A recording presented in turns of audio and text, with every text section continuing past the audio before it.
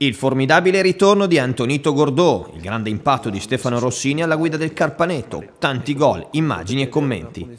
È stata come al solito ricchissima l'ultima puntata di Zona Calcio, la trasmissione condotta da Corrado Todeschi in onda ogni lunedì alle 20.20 su Telelibertà. L'asso francese ha ovviamente parlato delle emozioni vissute sabato con il gran gol da tre punti siglato contro l'Olbia al suo secondo debutto in maglia Piacenza dopo il ritorno da Trapani. Meglio di così non poteva andare, poi eh, prima di tutto per i tre punti, poi ovviamente per il gol, cioè, sono molto, molto contento. Ma eh, com'è nata la, la possibilità di, eh, di, ritrovarti qui a Piacenza dopo quell'addio in estate? Cioè, qua, quando e soprattutto se ci sono state delle difficoltà nella, nella trattativa o se eh, la tua no, volontà è stata decisiva? Quando cioè, sia il giocatore sia la società vogliono le stesse cose, alla fine difficoltà non si trovano.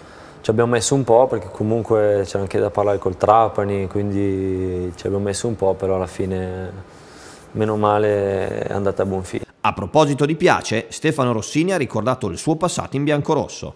Cagni ad esempio qui mi ha fatto mi ha fatto maturare tantissimo a livello, a livello, di persona, di uomo proprio, eh, mi ha fatto capire eh, e qui dopo c'è anche, um, si apre tutto un dibattito perché lui mi ha fatto capire cosa vuol dire la avere la cultura dell'allenamento, però non è che gli altri non me l'avessero detto, ero io che ero più ricettivo, ero io che ero più ricettivo, perché tutti te lo dicono, no? Quindi poi dopo quando te lo dice una certa persona non è che è stato più bravo o meno bravo, no, sei tu che sei più ricettivo in quel momento a capire determinate cose. Immancabile un commento su Silla, vero prodigio dell'attacco del Carpaneto. Una volta per dimostrare di essere un giocatore di una categoria dovevi fare tre anni in quella categoria, adesso fai tre partite e sei già un giocatore di categorie superiori.